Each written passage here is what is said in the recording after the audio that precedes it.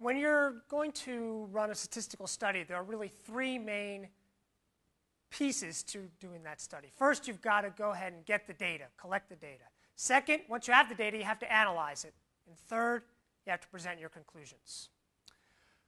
Of those three, getting the data, that first step, is the most crucial. If you don't have data that are collected well, then you are not going to get good results. So it's really important to understand how to collect data well. And that's what we want to talk about now. There are two types of studies generally that are done. The first is a survey, and the second is a causal study. In a survey, what we want to do is describe a population. For example, we want to learn what's the average income of doctors in the United States, or what's the difference in the GPAs of men versus the GPAs of women in your university. Okay? That's a survey, describe populations. In a causal study, what we actually want to do is figure out what's the effect of taking one action relative to taking a different action. For example, what's the effect of taking aspirin on curing my headache versus not taking aspirin? Or what's the effect of attending a job training program on, my, on, on a person's salary relative to not attending the job training program? Okay? That's causal studies. There are really two types of causal studies there's randomized experiments and non randomized experiments. We're going to talk about both of those as well. Let's start off talking about surveys. In a survey, there are really four main steps. The first step is you've got to establish that target population. What's the group that you really want to learn about? That's the target population. Second thing you need to do is make a list of all the people, all the units that are in that target population, because you're going to actually take a sample of people from that list, and that's our third step. Lastly, once you've decided who you're going to pick, you actually have to go out and get the data. All four of those steps are really crucial. What we're going to focus on today is that third step how you select a sample once you've got that list of your target population. Okay? And you have to be a little bit careful about how you do that. For example, you can't just go out uh, onto the street and, and get people and ask them questions. Let's think of an example.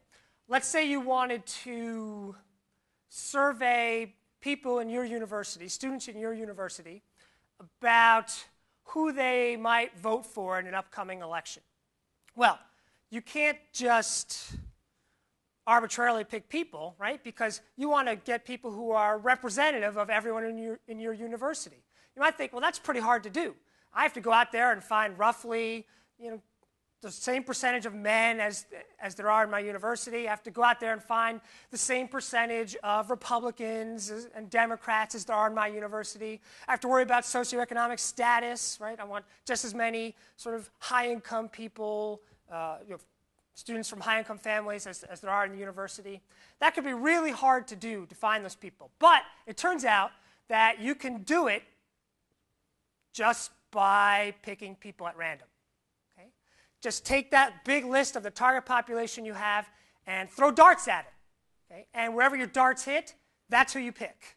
Okay? It's amazing that that actually works. It turns out you could prove, you could show that if you do that, if you pick people totally at random, then that sample of people that you get should, in fact, be representative of your whole population. It should have characteristics that mimic the characteristics of your population.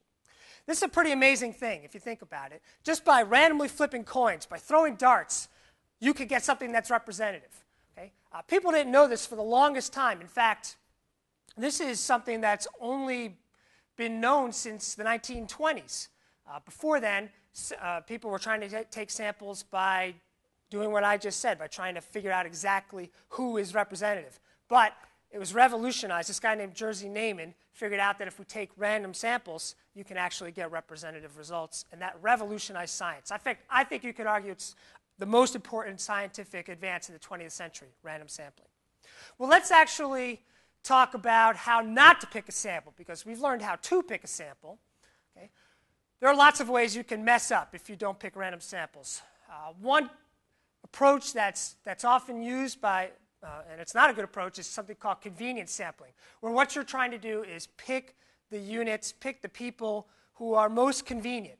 Okay, let's take our example of surveying students in your university. You might go to uh, the student center, the university student center, and ask the people who come by you what they're, who they're going to vote for. That's convenient, right? But the people who are going to come to the student center may not be representative of the whole student body, right? Because those people, for example, maybe they're going to the student center because they're more active in university politics or they're more aware. Okay? So convenience sampling is a bad idea. Another bad idea is something called judgment sampling. And here the idea is you're going to go out there and you're going to use your judgment to try to pick who is representative, okay, who's a typical person in, the, in, in the population. Okay? Judgment sampling is a bad idea because you've got inherent biases. And you might go and pick only those people who look like they're friendly and who will respond to you. Or people who you think, are, you know, subconsciously you might pick people who are like you in some way. Those people may not be representative of the whole population, and so you're not going to get good results. A third bad way to pick a sample is something called voluntary response sampling. Okay, you see this all the time in call in polls, for example. People have to volunteer their responses. They have to, to call in or they have to uh, go to a website and fill in the survey. Okay? People who volunteer to respond to a survey, they tend to do that because they have strong feelings about that survey. Okay? They really want to answer the questions. If you have strong feelings, you're not likely to, to get the people who don't have strong feelings. Okay? And so, well, you're not going to have a representative sample. Okay? Voluntary response sampling is a bad method.